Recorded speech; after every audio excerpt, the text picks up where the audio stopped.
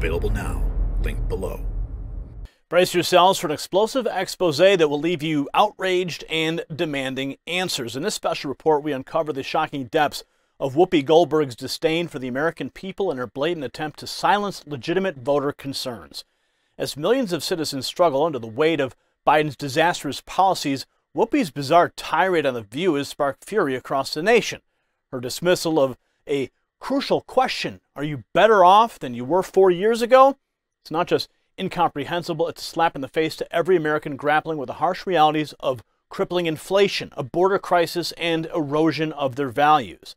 But what's really behind Whoopi's outrageous rant? Is she just another pawn in the left's desperate attempt to gaslight the public? Stay tuned as we peel back the layers of this shocking story and reveal the truth that the mainstream media doesn't want you to know. Now, folks, let me take a moment to address the elephant in the room. Just like Whoopi Goldberg's attempt to dismiss the concerns of millions of Americans, the mainstream media has been trying to sweep the truth about your health under the rug. They don't want you to know about the dangerous effects of excess belly fat, which is linked to numerous health issues and puts pressure on vital organs. But there is hope. A groundbreaking new substance formulated with science backed ingredients is helping people across the nation reduce fat storage, speed up fat breakdown, manage weight, curb cravings, and boost metabolism. And for a limited time, you can get 51% off. Visit trimwithgary.com right now before supplies run out. Now, in a shocking display of arrogance and disdain, Whoopi Goldberg, co host of The View, she launched into an incomprehensible tirade against a question that lies at the heart of every election Are you better off than you were four years ago? Well, this question was made famous by Ronald Reagan during his 1980 debate against incumbent President Jimmy Carter.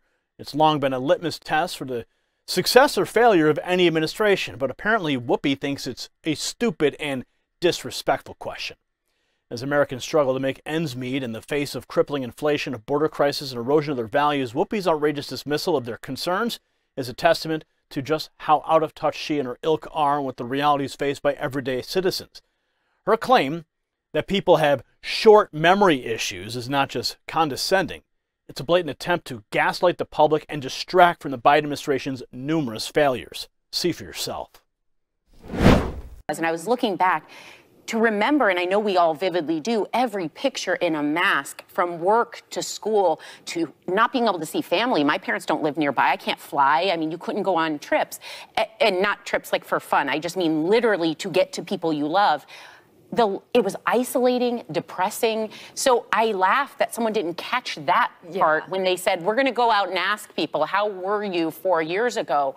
That is a time my brain is trying to completely block out. Like I, women have better reproductive health rights? Yes, yeah. there is. Listen, as black people, we were not in this insanity of trying to figure out why our history is no longer welcome right. in the educational system. Women were realizing something was happening. If you were coming from another country, if you were coming to this country to find a better life, you were not welcome. Listen, it wasn't a good time for lots of people. Yeah. And all you have to do to, to ask, are we better off than we were? Ask the thousands of people who are no longer here. That's how you know if we're better off. Ask their families, are they better off without their loved ones? What a stupid question. It's a stupid question and disrespectful to the American people, in my opinion, my humble opinion.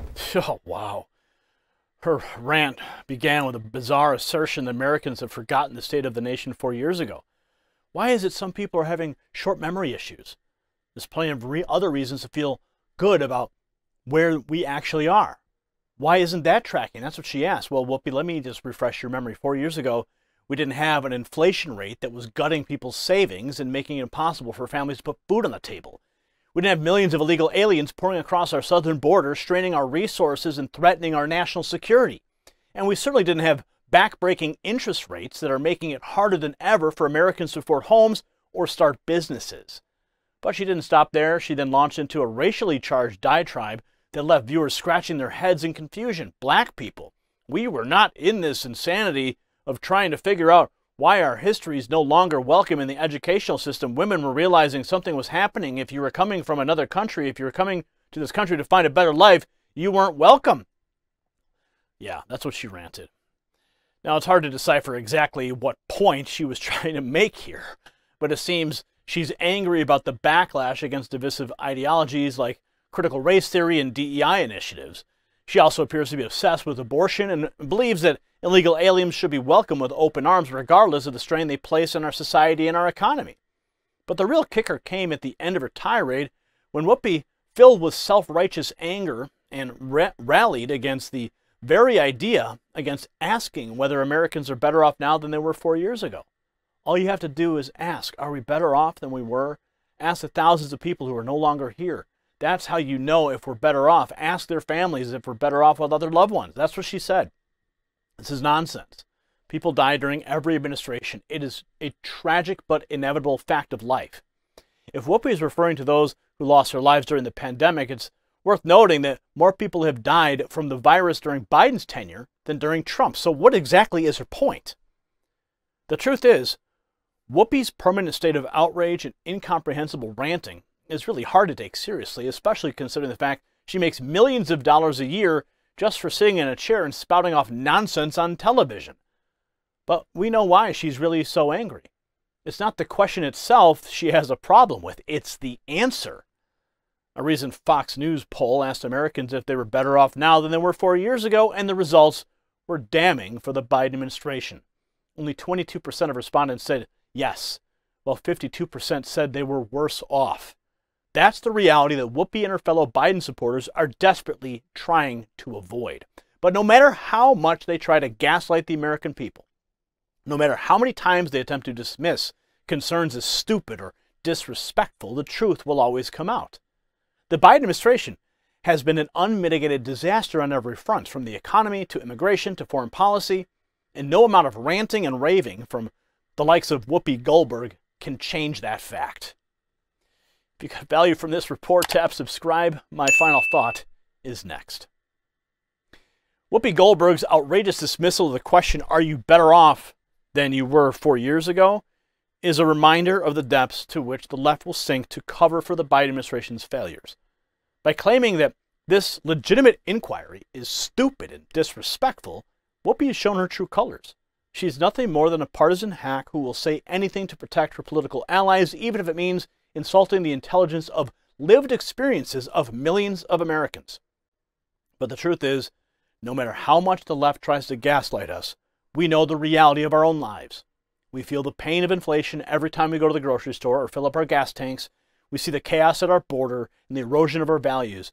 And come November 2024, we will make our voices heard at the ballot box, sending a clear message that we will no longer tolerate the incompetence and disregard of the Biden administration and its apologists in the media.